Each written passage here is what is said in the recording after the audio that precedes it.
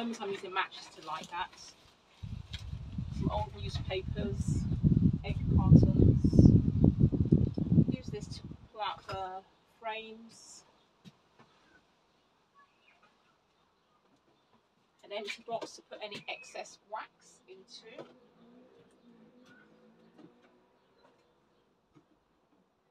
and I have my hive tool in here, keeping it clean. I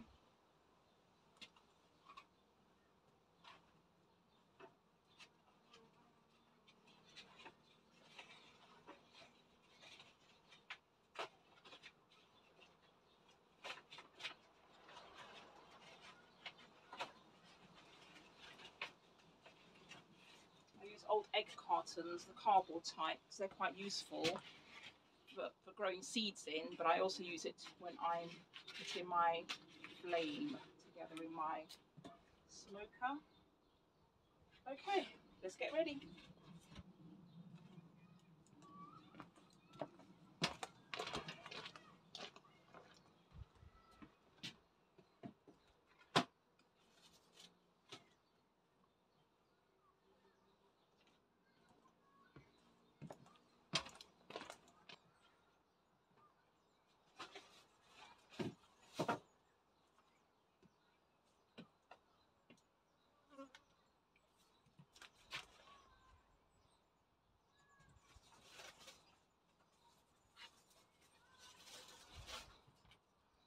Dry lavender, so I put that into the smoker as well.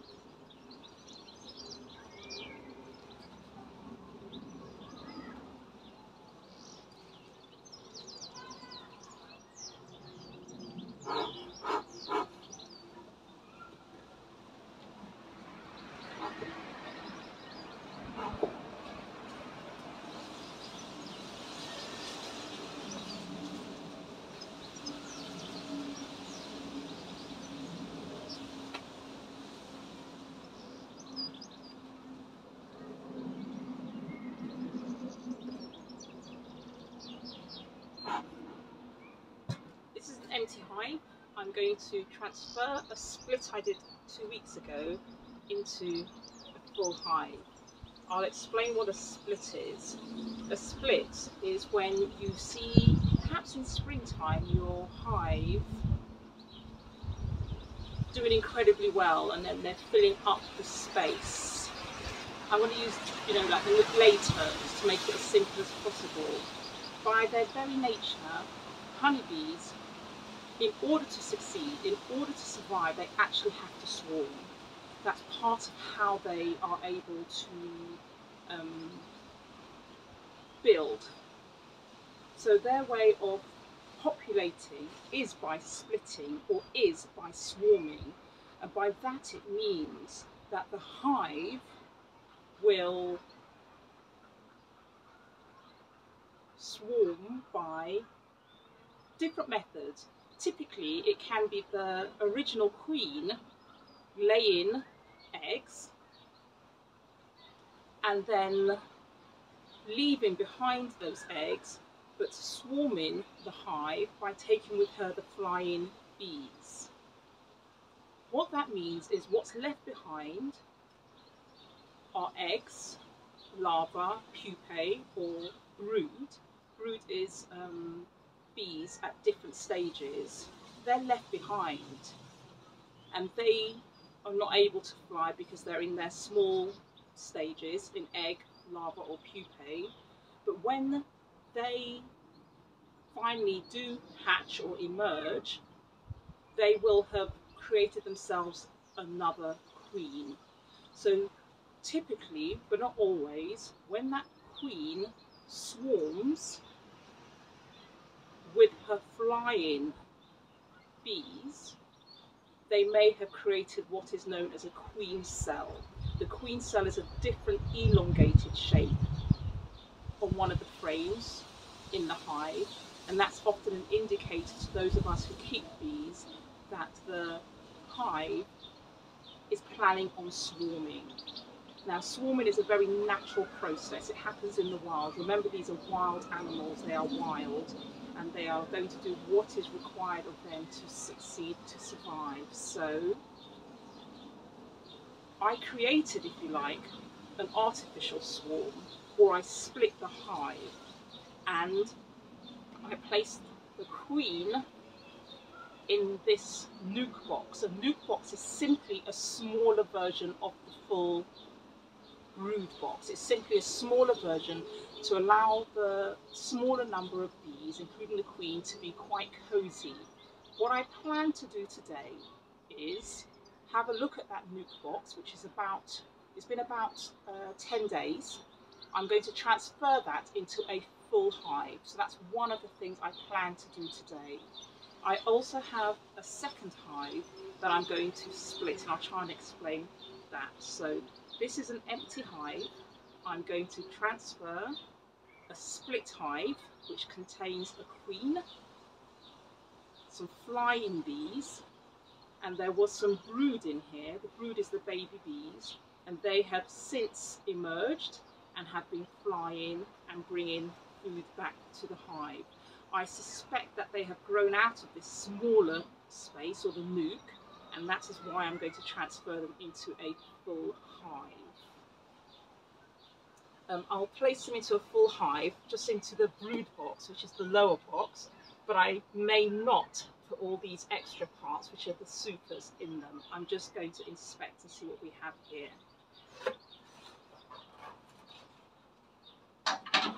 when you do an inspection,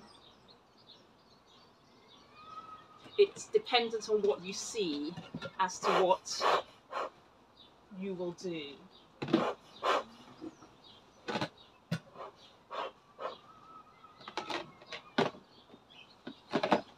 So what you find will determine what action you take. There's a couple of ants in here to be expected. Couple of spiders that have made this home.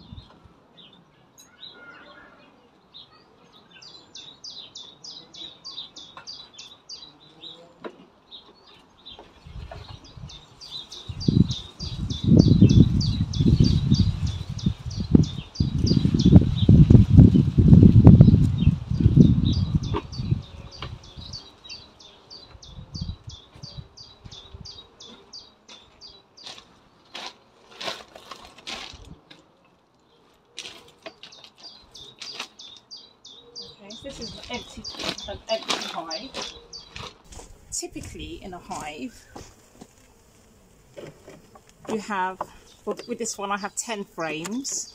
The end one is what we call um, a dummy board. It's not a frame, it's just to fill out the gaps. I can make a decision as to whether I have my frames vertical or horizontal. The entrance is down here. So in terms of lay layers, I have the floor. I'll just clear up old debris. That's the floor. It's a mesh floor. Then I have a deep or the brood box. The brood box is where the queen will lay eggs.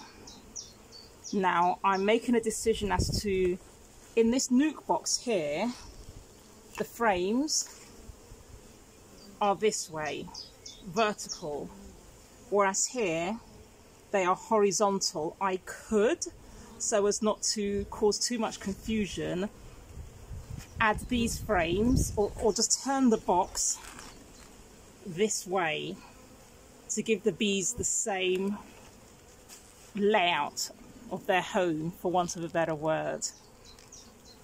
In a hive, typically at the ends or the edges is where the food will be stored, and as you work into the center is where you find the brood this frame is empty, but it'll be a place where the worker bees can build up the cells to allow the queen to be able to lay the eggs. So they have been drawing out the comb. Food, as I said, normally goes on the outer edges and the queen usually stays more to the central and will need places to lay eggs. So depending on what I find in the nuc will determine the layout. Here were some brood that did not hatch. And the bees, when they occupy here, will clean this out and make it available for the queen to lay. So I'm thinking already of placing plenty of space for the queen to be able to lay her eggs. The bees would have made some, would have filled out some of these frames with honey, I suspect, on the outer side. So I will transfer those into here depending on what I see. So this is the plan all I'm doing is placing them into a larger box. I may or may not see the queen. Sometimes it's not important to see the queen because actually what you might see instead are eggs. Day old eggs indicate the queen has been here very recently, as, as recently as today, and certainly yesterday. They're looking in good shape, good condition. Their wings are intact. I'll place that down here.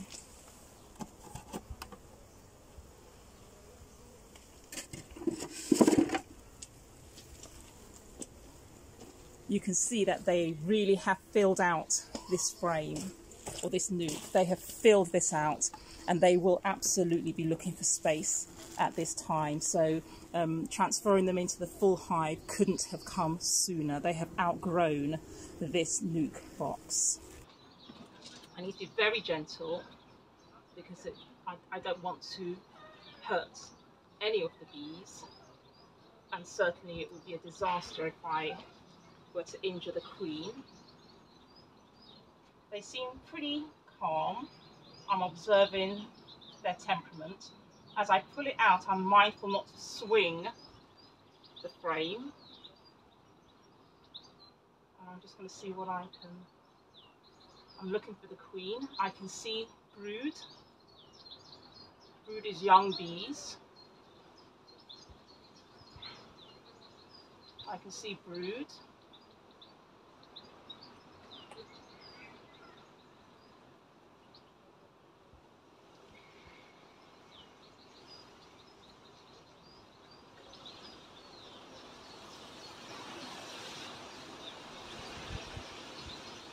See larva at different stages.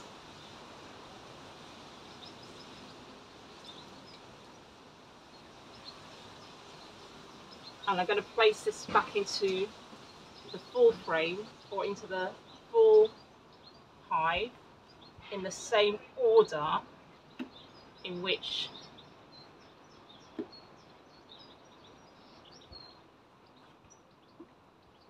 I did not see the queen on that frame. However,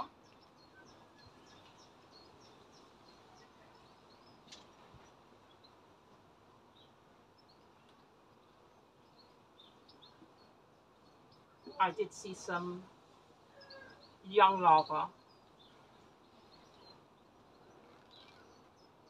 just acting very slow and approaching it very slowly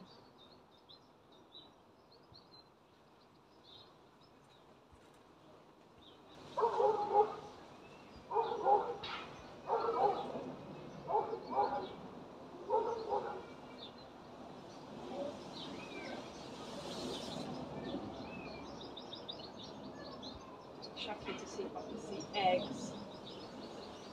Definitely see young larvae.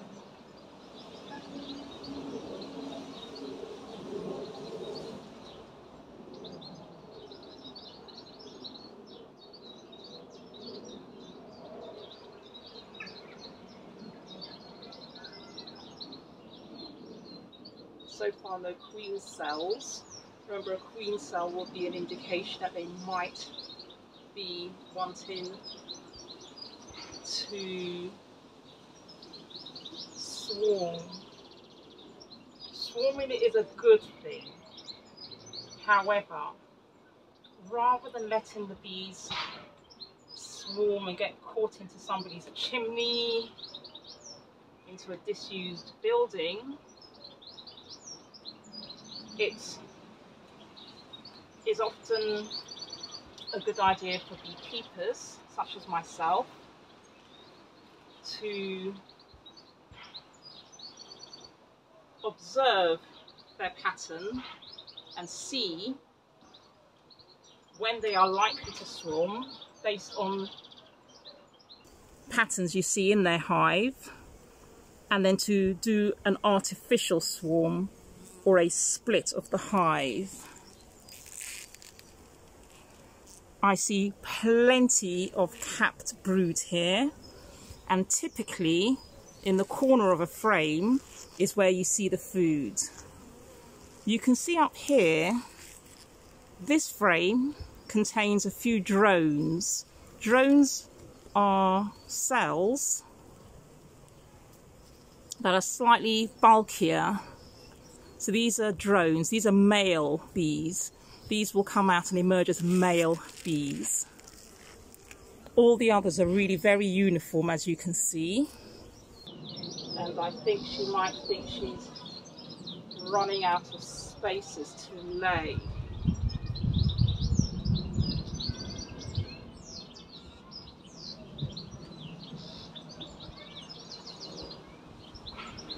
This is really very well filled up.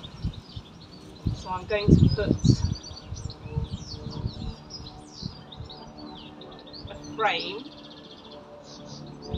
This one that's all built out. I'm going to add a frame.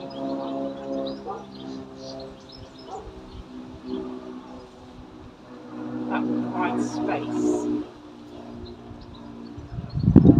Definitely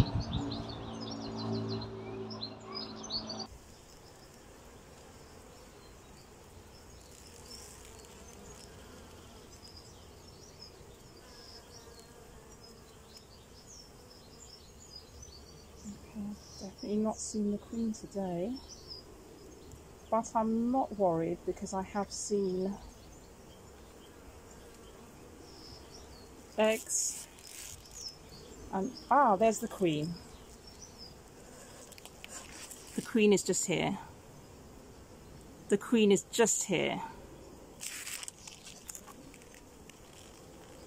That's the Queen in the centre of the frame. In the centre of the picture, that's the Queen. Isn't she beautiful? That's the queen just there. So I've got to be incredibly careful as I, I place her. I'm actually going to put her in between. Remove that one because she's not on that frame.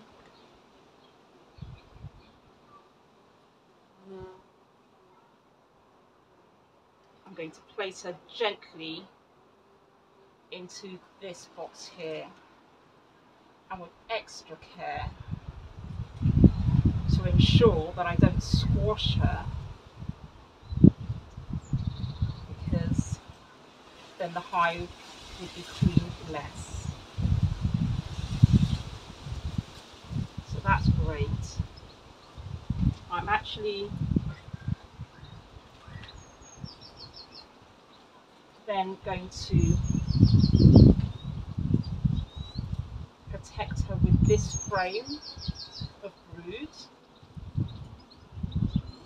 And after this frame I have an empty frame where she will now begin to find space for her to be able to lay.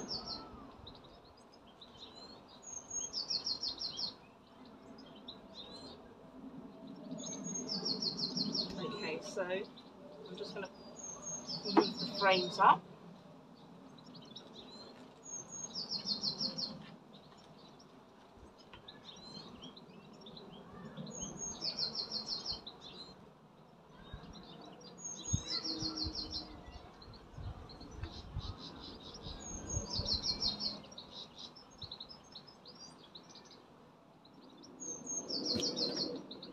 So I've transferred them from here into the wooden brood box.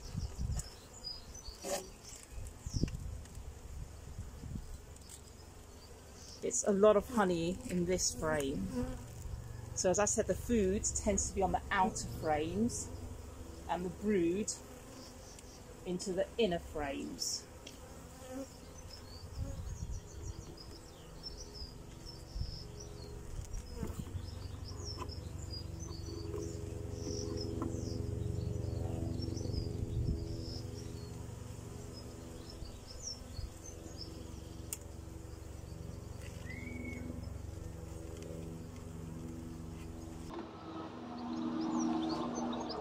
They are safely into their new home. Whilst here, I'm just going to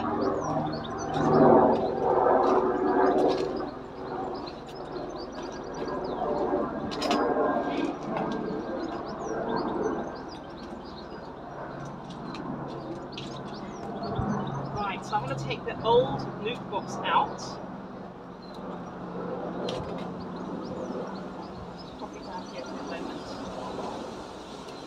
Going to move.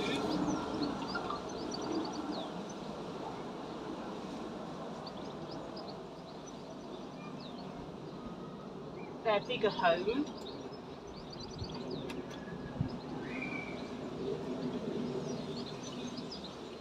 Where they were. So that the flying bees that are out uh, foraging. When they come back they will come back into this place that they will call their home. I'll place this nuc box to the side and the few bees that are in here will migrate to their new position. These are some of the bees that were in the feeding area. I'm just going to knock them in to the hive.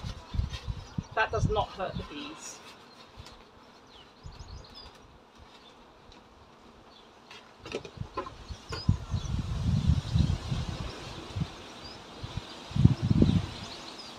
Right, I've been in there for long enough. I'm just going to remove wild comb, the wax, and place it into the box. This can be melted down and used to make things like candles.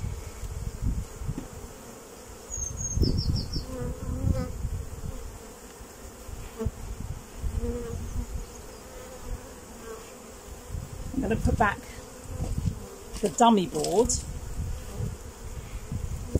to prevent the bees from making wild comb in that gap.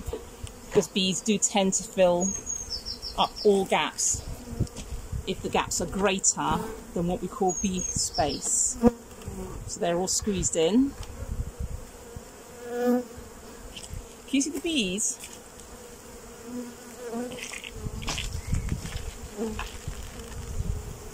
They're letting their family know where they have moved into now. Their tails are up in the air, fanning the queen's pheromone.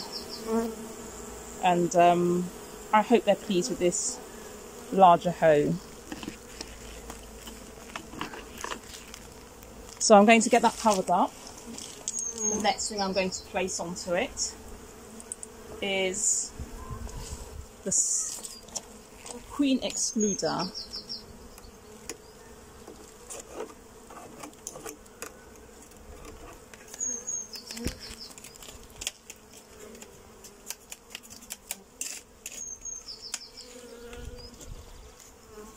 I'm going to place that gently on top.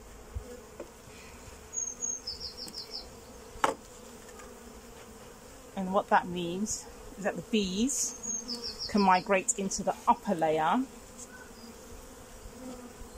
But I'm not going to put an upper layer on it just yet. I'm going to let them get used to this size. And then I'm going to... Okay, let me... Right, my, my, my bad, as they say. I need to get the roof.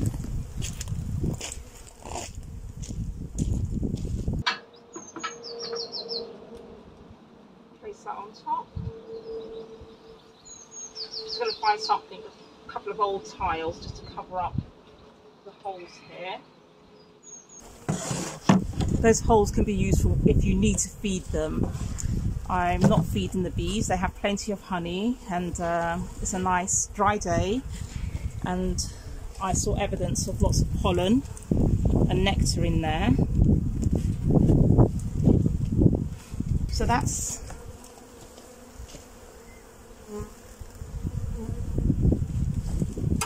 their new position.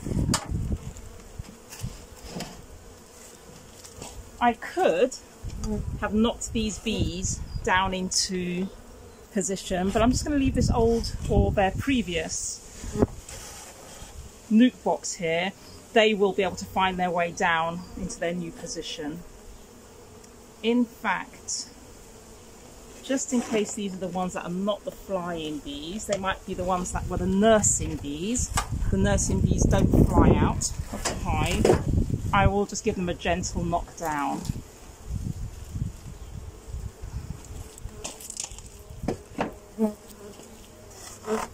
So I'm giving a gentle into the hive.